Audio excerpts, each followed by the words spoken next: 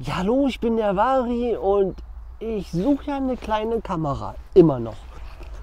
Das ist sie.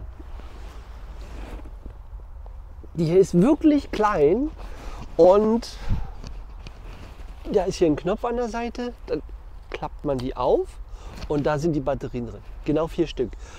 Viel größer ist diese Kamera nicht als genau diese vier Batterien.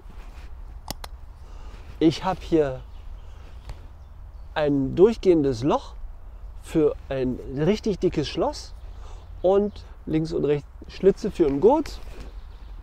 Äh, Monitor ist nicht verbaut, bloß ein kleines Display und da kann man die Einstellungen machen und da zeige ich jetzt euch mal, was man da einstellen kann. Viel ist es nämlich nicht. Für On muss man lange drücken.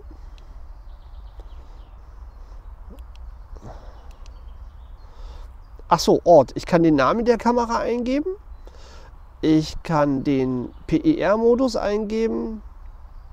Und zwar Foto und Video, Still and Video. Ich stelle sie auf Video. Das ist die Aktivität, 24 Stunden oder nur Tag oder nur Nacht. Ich habe es auf 24 Stunden. Sensitivität High, Mittel und niedrig. Ach so, ist Deutsch. Hoch, Mittel und niedrig. Belichtungszeit habe ich jetzt auf Mittel gestellt. Ich weiß nicht genau, wie das aussehen wird. Bild normal oder weit. Ich stelle sie mal auf weit. Videolänge 15 Sekunden.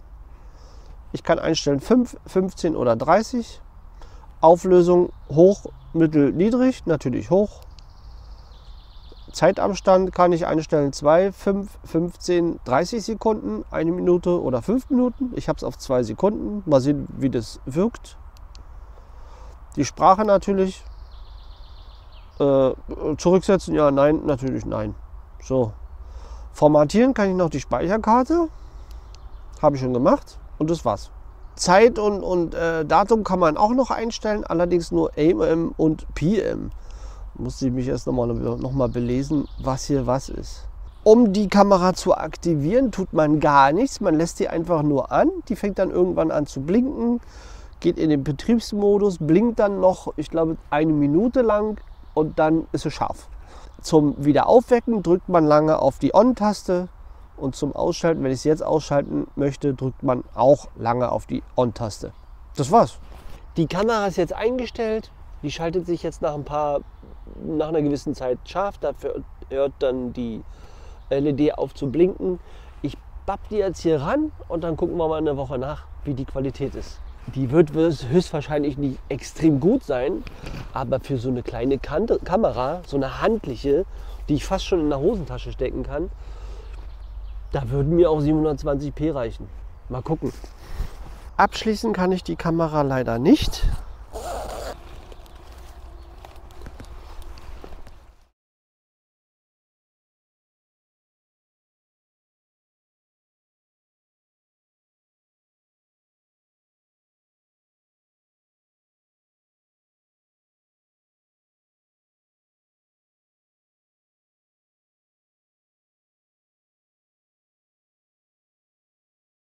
Wieder zurück bei der Wild Game Innovation äh, Shadow heißt sie, glaube ich. Die hing jetzt, naja, so gut wie eine Woche hier. Ich habe die nochmal umgestellt auf, von, von High auf Mittel und sie funktioniert und sie macht das, was sie machen soll.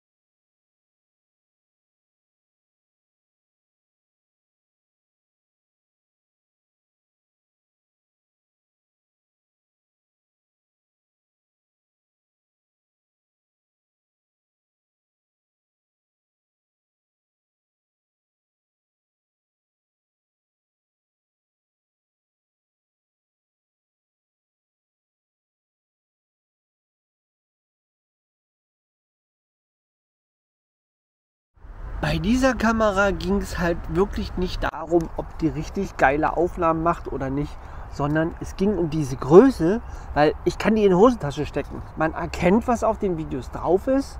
Es ist, naja, nicht berauschend. Wäre natürlich geil gewesen, wenn es richtig schöne Aufnahmen sind.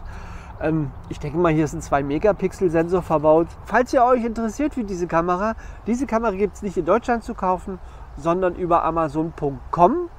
Es fällt eine Zollgebühr an, das übernimmt Amazon aber selber. Da braucht ihr euch keine Sorgen machen und keine Angst haben, dass der Zoll dann vor der Tür steht.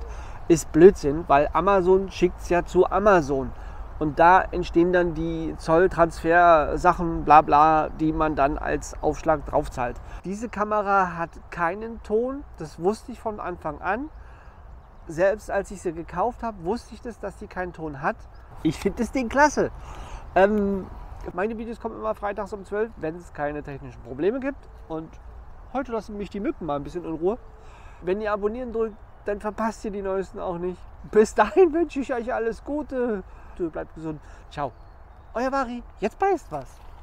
Alter. Doch eine. Hm.